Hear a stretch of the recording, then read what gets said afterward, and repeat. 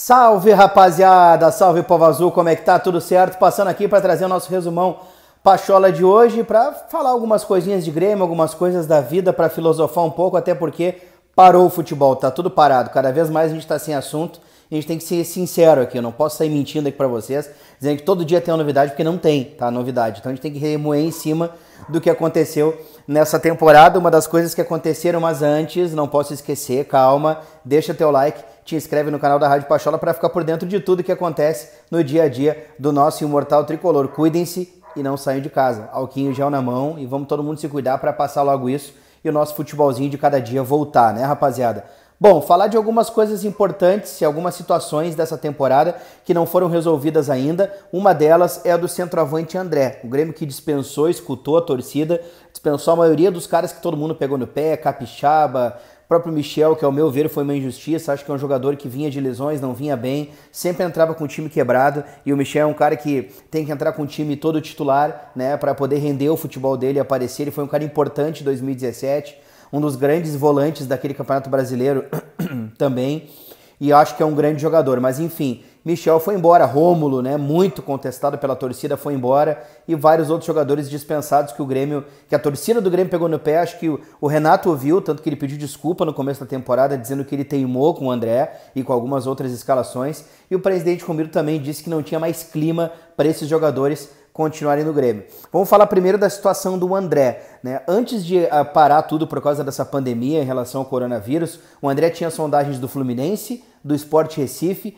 e do Curitiba, e uma situação mais um pouco adiantada com o Sport Recife e Curitiba. O que complica muito a situação do André no Grêmio é o alto salário e ainda o tempo de contrato que ele tem com o Grêmio, que é mais um ano, né? Mais um ano não, desculpa, mais dois anos de contrato. Então acaba pesando muito isso aí para o time que vai pegar ele por empréstimo, pagar metade de um salário tão alto. Daqui a pouco o Grêmio vai ter que pagar um pouco mais ainda do salário dele para poder ser emprestado e o clube aceitá-lo né, como empréstimo é, para a temporada 2020. Não sei como é que vai ficar tudo agora, porque parou tudo. Futebol se voltar, vai voltar aos poucos, com pouca quantidade de gente nos estádios a grana não é a mesma, o mundo vai voltar diferente, vai ficar mais difícil ainda do André ir embora do Grêmio, né, rapaziada? Então vai ficar mais complicado, é um dos jogadores que a gente vai ter que daqui a pouco aceitar aí que fique no plantel, mas a gente sabe que ele não está sendo utilizado pelo técnico Renato Portaluppi. Outro que perdeu espaço é o goleiro Júlio César, né, rapaziada? Com a chegada do Vanderlei e as ótimas atuações do Vanderlei, ele acabou perdendo espaço de reserva imediato porque o Paulo Vitor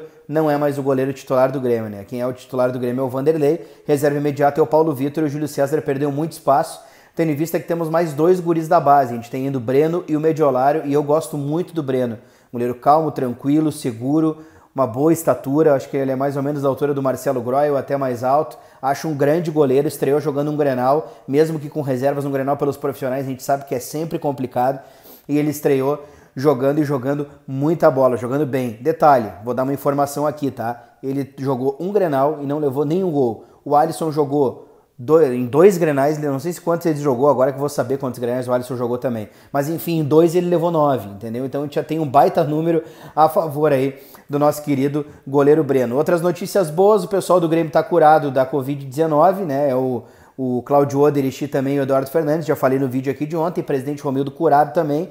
O departamento médico do Grêmio está mandando orientações para os jogadores, para os atletas via WhatsApp de como se cuidar para não acabar contraindo o vírus, né, do o coronavírus. A gente sabe que está uma situação caótica nos Estados Unidos, principalmente em Nova York, tem uma situação complicada também na Itália na Espanha, e essa onda pode sim estar tá vindo para cá, já está aqui no Equador, né? E essa onda pode acabar vindo para cá porque a gente não tem teste o suficiente. Nosso sistema também de saúde é complicado, assim como qualquer outro sistema de saúde no mundo não consegue absorver um número grande de pessoas. Então os jogadores do Grêmio estão recebendo esse cuidado via WhatsApp, organizado um grupo no WhatsApp para os médicos do Grêmio do Tricolor conseguirem passar essas informações para todos eles. Certo, rapaziada? Vou deixar aqui só uma dica que no mês de abril o Grêmio goleou, em abril de 84, o Grêmio goleou o Atlético Paranense fora de casa com um show do Renato pelo placar de 4 a 1 O Renato marcou dois ou três gols e deu passe para um dos gols, mandou os caras calar a boca quando comemorou um dos gols. Então foi assim, ó, uma baita atuação do técnico Renato Portaluppi. Corre lá no YouTube para dar uma olhadinha. Grêmio 5, Atlético Paranauê, que nem ele costuma falar, né, de brincadeira, 1. Um, Lá no Paraná não era a Arena da Baixada ainda, era um outro estádio. O Atlético Paranense era muito menor é, do que hoje. Não que ele não seja pequeno ainda, né? Que eu gosto de tirar a mão na deles, porque eu tenho pavor do Atlético Paranaense. Mas enfim, Tá aí, né? Então vai lá pro YouTube que tem a dica lá com o Atlético Paranauê.